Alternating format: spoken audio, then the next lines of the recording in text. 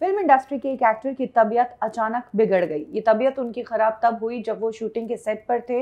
अपने शॉट की तैयारी ही कर रहे थे कि अचानक वो बेहोश होकर गिर पड़े, जिसके बाद उन्हें हॉस्पिटल ले जाया गया और वहाँ पर उनका ट्रीटमेंट शुरू किया गया। कहा जा रहा है कि ये एक्टर रिग्रेस डाइट फॉलो कर रहे थे। ये एक पर्टिकुलर डाइट ले रहे थे जिसमें इन्हें लिक्विड नहीं पीना था और उसमें पानी भी शामिल था। यानी कि नो लिक्विड डाइट ये फॉलो कर रहे थे और कहा जा रहा है कि इसी से इस एक्टर की तबीयत बिगड़ी है। सबसे बड़ी बात तो ये है कि चार दिन बाद ही एक्टर की शादी है। 20 नवंबर के लिए तैयारियाँ भी हो गई, लेकिन दूल्हा बनने से पहले ही एक्टर को हॉस्पिटल में एडमिट करवाना पड़ गया।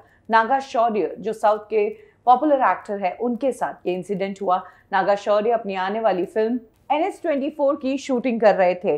वो अपना जितना भी काम है शादी से पहले ही खत्म करना चाहते हैं। इसीलिए वो काम में गैप नहीं डाल रहे हैं और लगातार काम कर रहे हैं। और क्योंकि इस फ़िल्म में उन्हें कई सारे एक्शन सीक्वेंसेस भी करने हैं, हो सकता है शर्टलेस सीन भी करने हैं, अपने आप को बहुत ज़्यादा फिट दिखाना है। इसीलिए वो नो लिक्विड डाइट भी फॉलो कर रहे थे। और इन सब चीज़ों के कारण जब उन्होंने पानी नहीं पिया तो डिहाइड्रेशन के कारण वो बेहोश हो गए।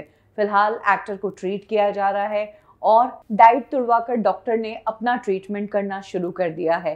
नागा शौर्य 20 नवंबर को अपनी गर्लफ्रेंड अनुषा शेट्टी के साथ शादी करने जा रहे हैं और शादी के कार्ड्स भी बढ़ चुके हैं।